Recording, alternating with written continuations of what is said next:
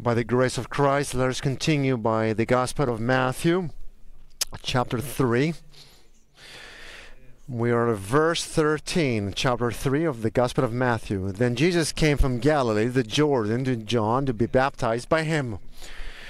John would have prevented him, saying, I need to be baptized by you, and do you come to me? But Jesus answered him, Let it be so now, for thus it is fitting for us to fulfill all righteousness. Then he consented. And when Jesus was baptized, immediately he went up from the water, and behold, the heavens were opened to him, and he saw the Spirit of God descending like a dove and coming to rest on him. And behold, a voice from heaven said, This is my beloved Son, with whom I'm well pleased.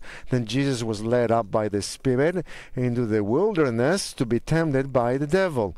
And after fasting forty days and forty nights, he was hungry, and the tempter came and said to him, If you are the Son of God, command these stones to become loaves of bread.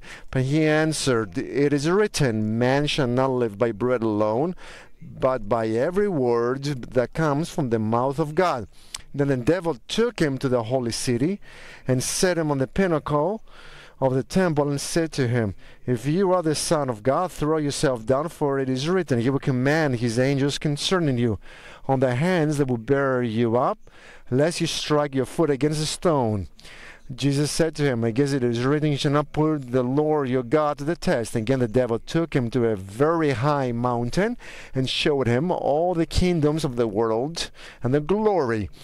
And he said to him, All these I will give you if you will fall down and worship me. Then Jesus said to him, Begone, Satan, for it is written, You shall worship the Lord your God, and him only shall you serve. Then the devil left him, and behold, angels came and were ministering to him. Now, when he heard that John had been arrested, he withdrew into Galilee, and leaving Nazareth, he went and lived in Capernaum by the sea, in the territory of Zebulun and Naphtali so that what was spoken by the prophet Isaiah might be fulfilled. The land of Zebulun and the land of Naphtali, the way of the sea beyond the Jordan, Galilee of the Gentiles, the people dwelling in darkness having seen a great light, and for those dwelling in the region shadow of death, on them a light was, has dawned. From that time, Jesus began to preach, saying, Repent, for the kingdom of heaven is at hand. While walking by the Sea of Galilee, he saw two brothers, Simon, who is called Peter, and Andrew, his brother, casting a net into the sea, for they were fishermen.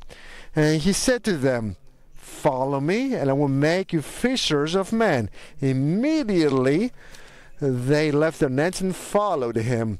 And going on from there, he saw two other brothers, James the son of Zebedee, and John his brother, in the boat with Zebedee their father, mending their nets, and he called them. Immediately they left the boat and their father and followed him. And he went throughout all Galilee, teaching the synagogues and proclaimed the gospel of the kingdom and healing every disease and every affliction among the people. So his fame spread throughout all Syria and they brought him all the sick, those afflicted with various diseases and pains, those oppressed by demons, epileptics and paralytics, and he healed them. And great crowds followed him from Galilee and the Decapolis, and from Jerusalem and Judea and from beyond the Jordan. Amen. Now the time has co- the time has come for God to reveal His only begotten Son, the God in the flesh, and the preordained time when He became 30 years old, having preceded six months before by the ministry of John the Baptist. Now Jesus of Nazareth came to be baptized the waters of Jordan, a, a uh, baptism of repentance. He's going to humble himself as he humbled himself and became obedient to the death. And this is a message now to become obedient to the Word of God and the voice of God, but a person may not obey unless he loves.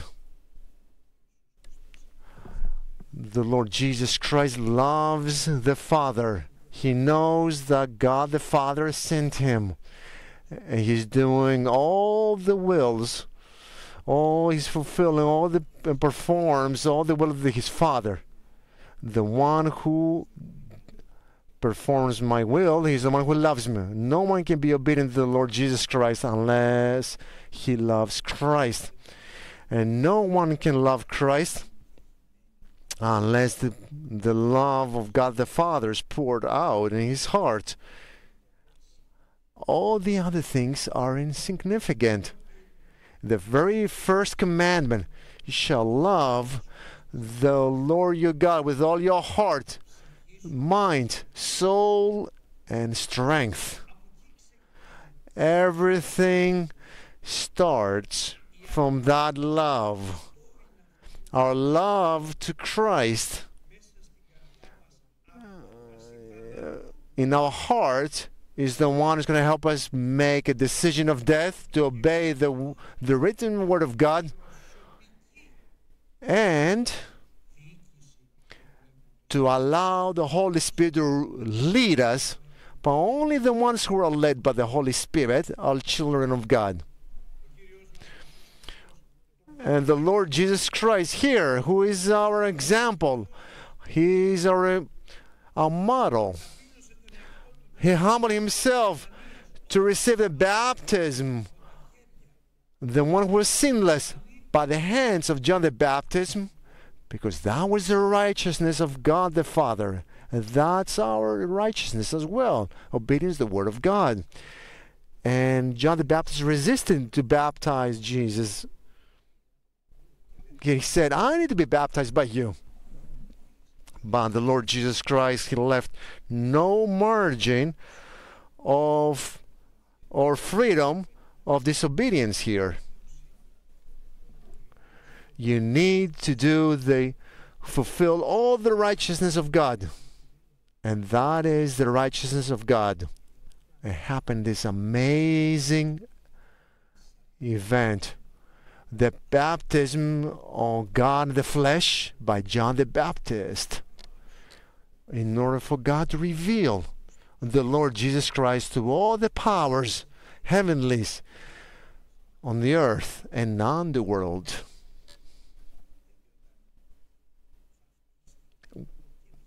And when he was baptized, the Holy Spirit, in form of a dove, came and sat on the Lord Jesus. and John the Baptist, uh, by the revelation that God had given, to whom you see the Holy Spirit sitting on him, he is my only begotten Son. And when he saw that, he believed that is the Son of God. And then the heavens were opened, and the voice of God the Father was heard before all the powers on heavenlies on the earth and the underworld. This is my Son, my beloved Son, with whom I'm well pleased. Why was God the Father well pleased with the Son? Because he was submitted to the Word of God. And that's likewise happens with us when we submit ourselves to the Word of God. And now, after this submission, the devil is going to come to tempt the Lord Jesus. Resist the devil. And the Word of God says that Jesus was led by the Spirit according to the will of God the Father into the wilderness to be tempted by the devil. That was the sole reason. You cannot be approved unless you're tempted. There's no way, brother, for the blessing of God the Father to continue your life unless you're tempted by the devil in order to resist, and he will flee from you. If you do not resist him. He's not going to flee you. And there is a rough warfare we are conducting. And the Lord needed to prepare for that. And as the Word of God encourages to suffer for Him, and the Lord Jesus Christ, He fasted 40 days and 40 nights in order to become weak. No one who is strong needs to defeat the devil by their strength. The Apostle Paul says, Only when I'm weak, I'm strong by the power of Christ. God said Christ weak. And when a person uh, submits the word of God, he doesn't deny the name of Christ in his weakness, then God sets him up in strong. Let us understand this, brethren. Are you weak? Or you are weak and you need to confess this. Say this to Christ. I cannot do anything, Christ, in order to become strong. For 40 days and nights he fasted in order to have all fleshly power leave him and be emptied out of that that he had gained in his family life in Nazareth 30 years with his dad and mom. Now all human power need he needed to be devoid of that human power. And God did not allow that temptation unless the full weakness of the Lord Jesus Christ uh, will be fulfilled. God did not allow on the first, the second, and the third day of Jesus fasting.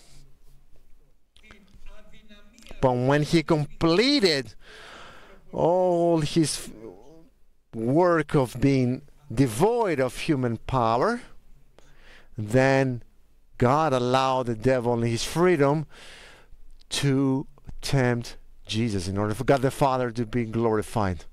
He got hungry after 40 days and now deserted the flesh because God if person is has a trinary nature of spirit and soul and body. And now the desire of the flesh. Enter Jesus if you're the son of God because God the Father said here's my beloved son and now Satan comes to doubt the word of God in his life. This is what he always does. He's trying to doubt the word of God, the weakness of people. But the weakness of Jesus is the power of God. If you are the Son of God, tell to these stones to become bread in order to satisfy your hunger. And he needs to reply by the Word of God. There's no other way to resist here but by the Word of God. And what's the obedience of the Word of God? The love of Christ to his Father, and our love to the Lord Christ. And then we submit ourselves. And then the God, and then God, He brings it in our lives, living. He do not study ahead of time what are you going to say because I'm going to give you a word of God and the Holy Spirit is going to speak. Tell to the stones to become bread.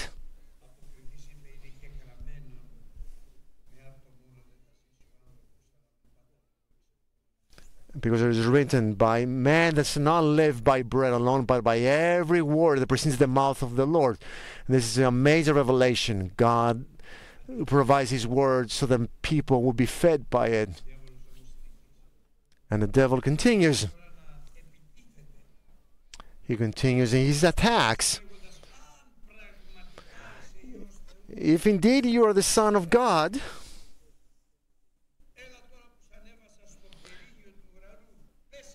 now that you are in the pinnacle of the temple, throw yourself down and since you use the word of God, and I, the devil, I'm going to use the word of God as well to attack you, because it is written, He will command His angels concerning you on their hands that will bear you up, lest you strike your foot against a stone. He's cunning, he's wicked. But Jesus, his absolute weakness, he is filled with the power of the Holy Spirit. It is written again, You shall not tempt the Lord your God. How serious are these three replies that the Lord gave? The man shall not live by bread alone, but he enjoys the care, the defending and support of God the Father when he's humble. He does not tempt God by revealing himself. And third, by the desire of his eyes. And then the third temptation came. The devil took him to the very high mountain, showed him all the kingdoms of the world and the glory. And he said to him, All these I will give you if you will fall down and worship me. This is going to happen, but it's not going to happen by the devil. God is going to give him all the kingdoms. Uh, as the Lord proclaimed, to me was been given all authority. And now the devil, though, is trying instead to tempt him by desire of his eyes. Because, as he's saying, a tr- one truth here that all these kingdoms have been given to me, as the devil said. But the Lord Jesus Christ replied again by the word of God You shall worship the Lord your God, and him only shall you serve. The love of the Lord Jesus to his Father gives him the ability to resist the devil, and then the devil finally left him. The love of the Lord Jesus Christ to us is our power, is the authority that we have. But because we cannot love Him, because we're humans, as God wants us to be in our human nature, we need to plead the Father in the name of Jesus Christ in order for our joy to be full. To say, Father, let us say this today.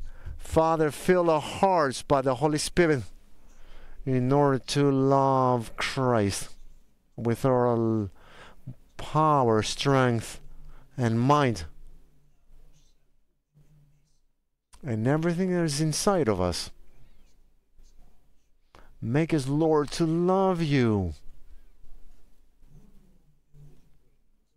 Only God may help us to love Christ in this way.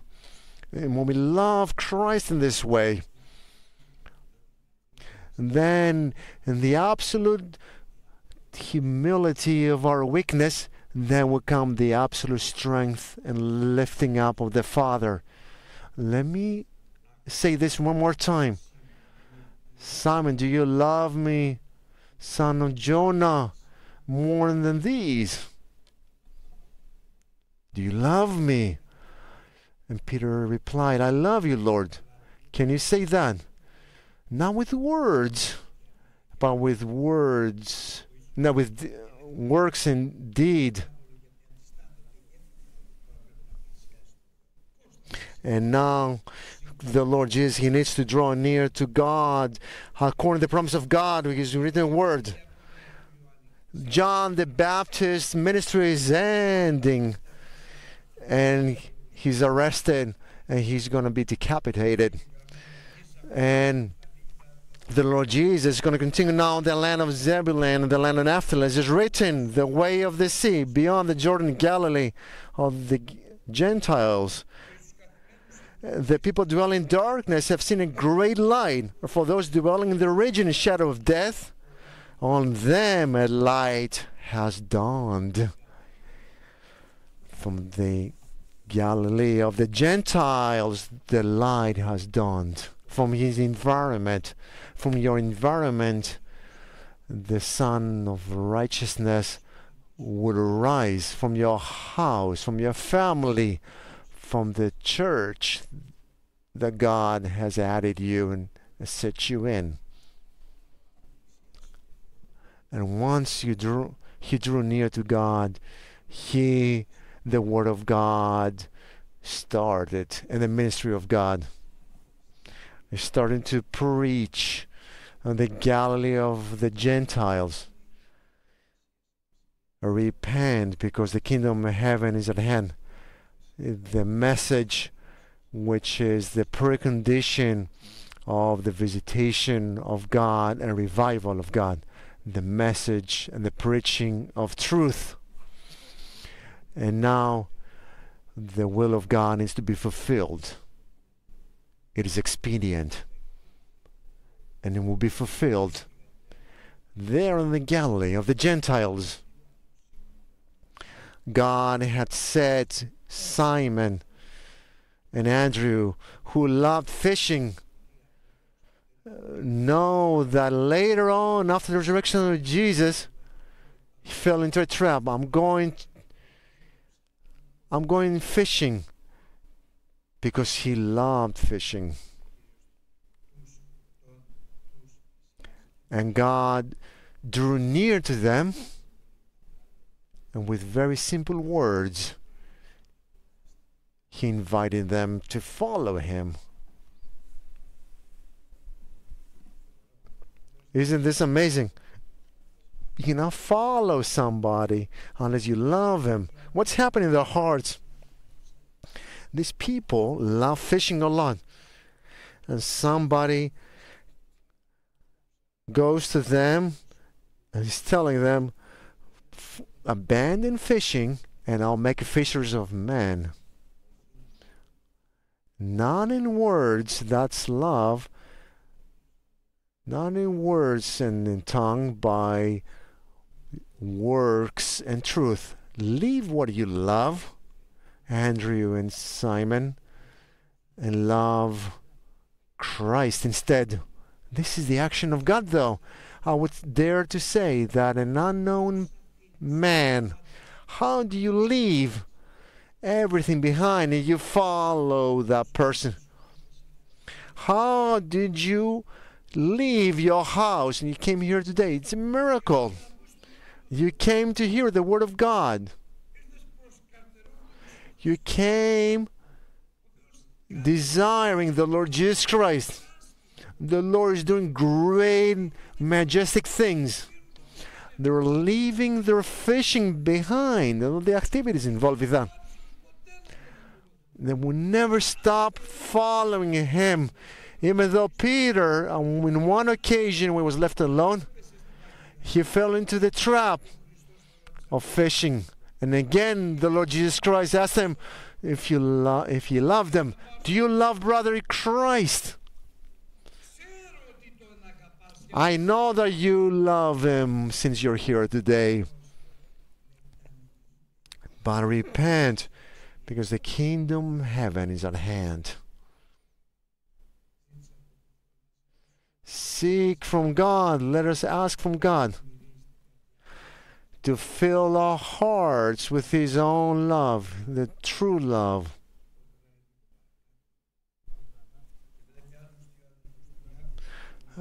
He saw two other brothers, uh, the John and James, as they were sorting out their nets, and Christ invited them too, and they left the ship, the father, and they're fishing. Again, they followed a stranger.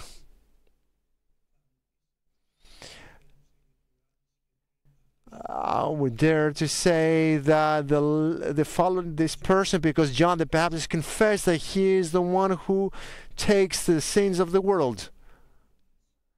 The issue now, today, and the great miracle today is with us today.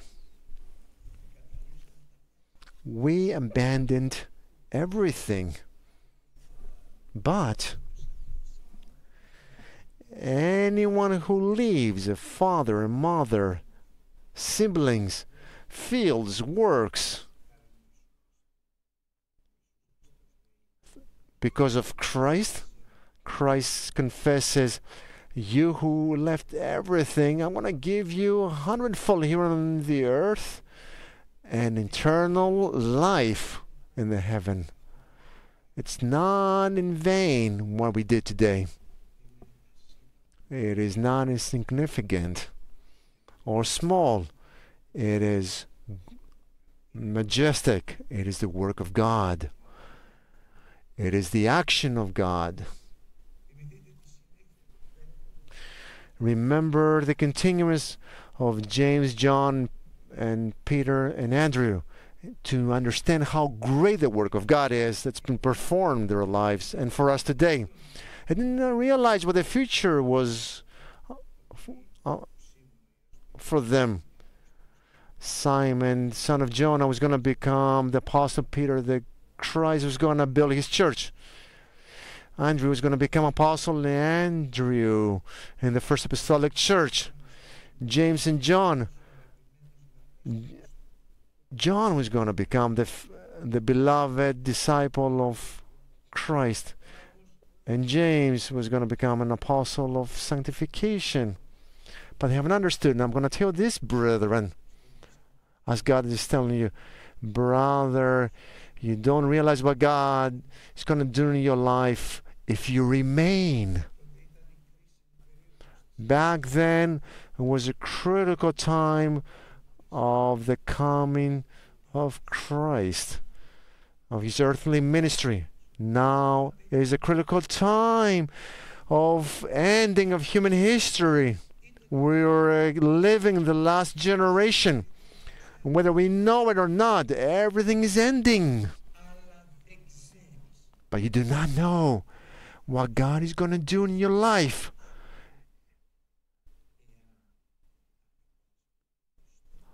If you love Christ with your power, soul, and mind and heart, things that we cannot imagine. Saul could never imagine as he was a persecutor and blasphemer who persecuted with great zeal the church of Christ what was going to happen in his life later on. And thus, dear brethren, let us remain humble. Humble yourselves under the mighty hand of God. What's certain is humility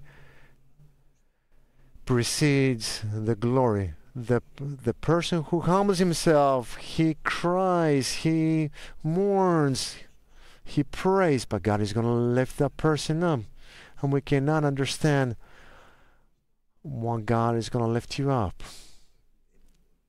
You cannot understand. You cannot understand. You cannot imagine. Only one thing. My God, help me to love you with my power, all my power, strength, and might in order to submit myself to your holy word and be led by your Holy Spirit. There were now those disciples were submitted the word of Christ. They were fishers. Simon Andrew, who loved the net, their nets and fishing, they abandoned it. John and James, who loved the belongings of the ship, and their father and their relatives, they abandoned everything. They followed Christ as well. And now the Lord Jesus Christ, He's starting His ministry. Repent, because the kingdom of heaven is at hand. he started to teach us and reveal the sound doctrine and the mysteries of the kingdom of heaven to heal every illness and every disease. Dear brother, let us think a little bit. An insignificant young man, 30 years old, in the eyes of God was his beloved son, a man without nothing special he wasn't even educated as a person. He started to teach. He started to preach. And the powers of God, the Father, to be revealed in him. And the result was was shocking.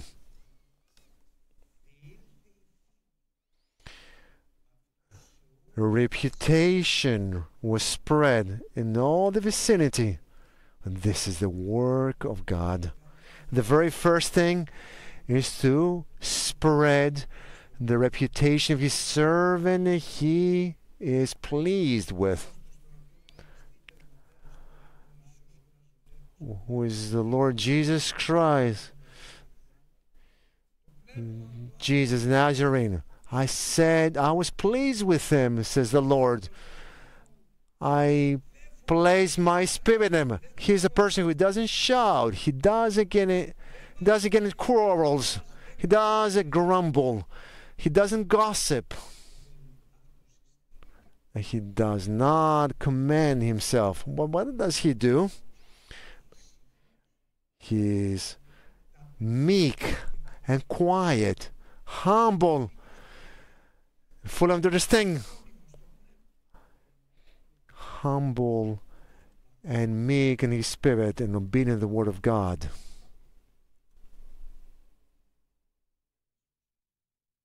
And immediately the reputation spread of his work. It is God who does that. God acts, spreads his reputation in strange ways. Because Jesus, of course, knows the continuance of the things, but I'm sure Peter and James and Andrew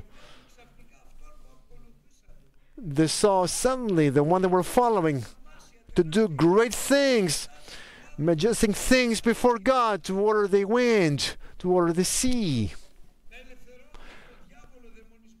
to set demonized people free, to heal diseases, and to see the reputation of the Lord spread all Syria, and people coming from all over the place, drawing near to Christ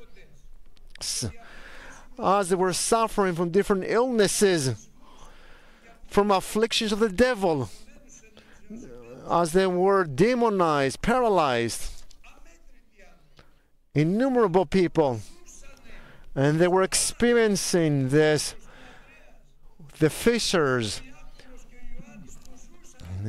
Peter, James, Andrew, and John and all of them to be healed.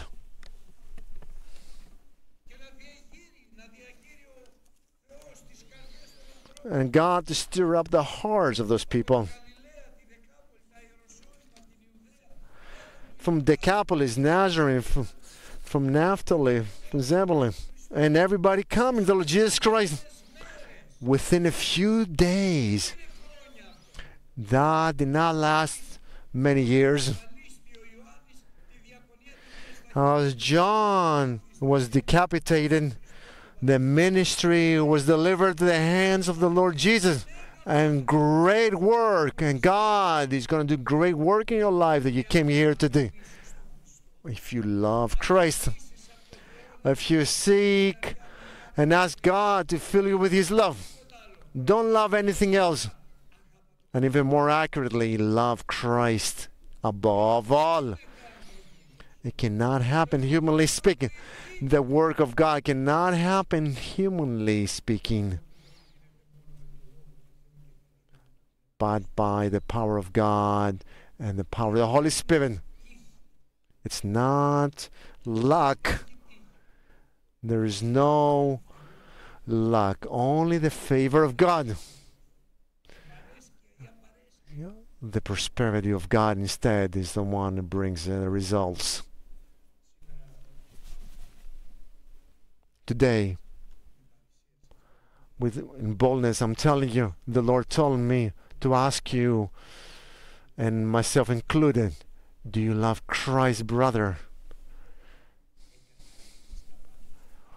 Do you abandon everything for him? Do not rush to tell him but pray to him. Seek christ instead. Because whatever we say yes yes i love you those are human words of weakness. But God wants words of power, of wisdom, understanding by the Holy Spirit, says Christ.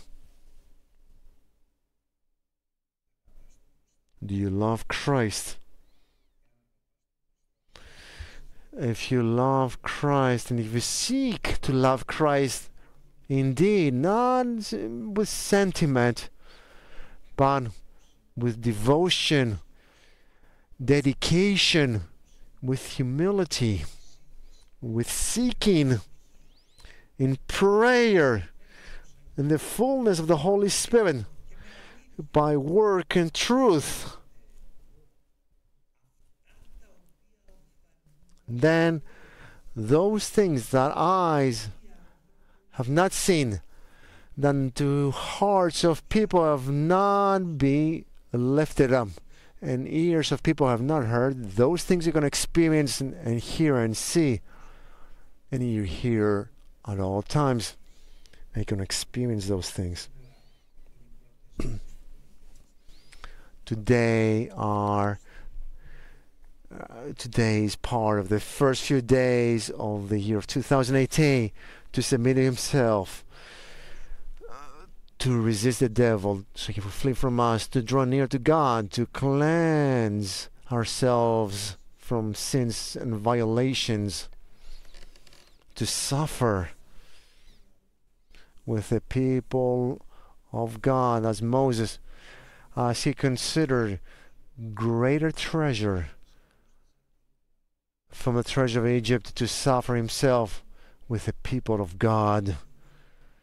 You're going to suffer with the people of God, by you will be blessed. But with the precondition that you love the Lord your God. Is not only Christ the Lord your God. He, he needs to be your beloved of your soul. Look and say out of you, do you love him? The answer is not that much. But the in continuance of that desire is to say, Christ, help me to love you with my mind, heart, soul, and strength. Help me, Lord. Fill my heart with your love. Father, make me, Lord, to love you as you want me to love you.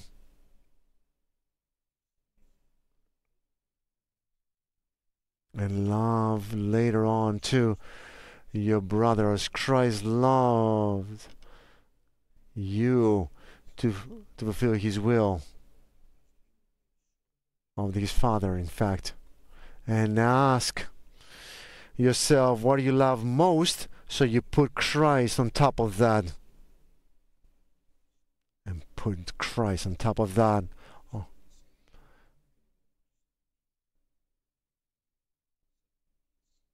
And that sacri- the sacrifice you're going to make for Christ